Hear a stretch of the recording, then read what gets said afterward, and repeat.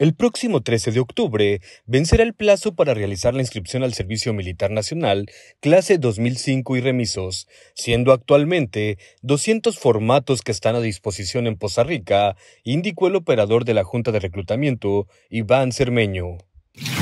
Para hacer la invitación a los jóvenes a que vengan a realizar su trámite, que no lo dejen para último momento. Este, todavía tenemos cartillas suficientes, formatos suficientes para realizar el trámite. ¿Cuántas entregaron para este año en Costa Rica y cuántas quedan? Eh, formatos nos entregaron 800. Nos queda aproximadamente todavía como unas 200, 250. ¿Cómo ha sido la...? No, suficientes, como iba a comentar, suficientes este, para todavía vengan a realizar su registro. ¿Cómo ha sido la respuesta de los jóvenes? Bien, bien, los jóvenes ha, ha ido de manera frecuente fluyendo la inscripción de los jóvenes y este, afortunadamente muy bien, bueno, el trámite es muy rápido, no, no tardan más de 20 minutos el trámite, este, siempre y cuando traigan toda la documentación correcta, ¿no? todos los requisitos necesarios. ¿Es necesario sacar citas para hacer No, estamos atendiendo así como, como van llegando los jóvenes, el horario de atención de 8 de la mañana a 1 y media de la tarde, este, de lunes a viernes, y este, estamos atendiendo así de manera conforme van llegando los jóvenes.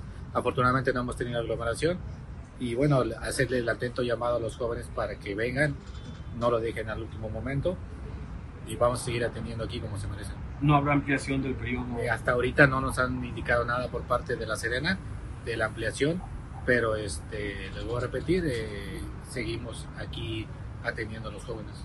¿Los interesados dónde pueden consultar los requisitos? Los interesados pueden venir aquí directamente a las oficinas. También tenemos una página de Facebook que se llama, aparece como Junta Municipal de Reclutamiento Poza Rica. Ahí pueden eh, consultar los requisitos, que son básicamente cinco requisitos muy sencillos. Acta de nacimiento, CUR, eh, comprobante del grado máximo de estudios que estén cursando, el INE, que en este caso si no han, si no han adquirido su INE por no haber cumplido todavía los 18 años, este, puede traer el INE de su papá o de su mamá, siempre y cuando sea con domicilio aquí en Costa Rica, y las cuatro fotografías tamaño cartilla.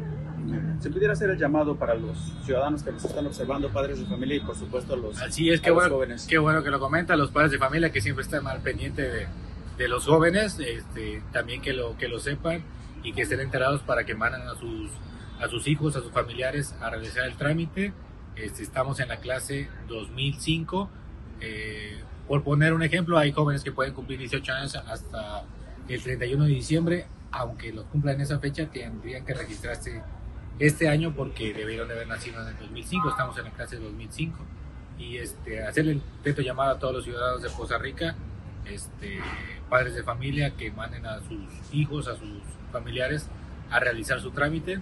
Eh, vuelvo a repetir, es un trámite muy rápido y sencillo y este, para obtener su precartilla del Servicio Militar Nacional. La importancia de este documento. Es muy importante. En la actualidad. Ya hemos tenido casos de, de gente que ya la había tramitado y por algunas razones la extravía y se les están pidiendo inclusive para entrar a algún trabajo, este, para poder, eh, aparte, pues es un documento oficial que lo pueden ocupar también para tramitar su, su pasaporte, su visa, entonces este, no dejarlo al último momento y hacerle llamada a todos los ciudadanos a que vengan a tramitarlo.